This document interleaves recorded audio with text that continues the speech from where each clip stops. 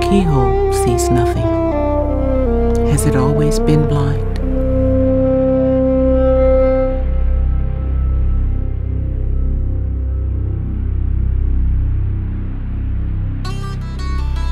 There are spaces for living and spaces for forgetting.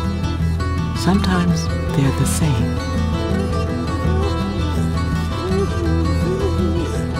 Everything's inside something else. Everything's an envelope inside a package in a case. And pain knows a way into every crevice.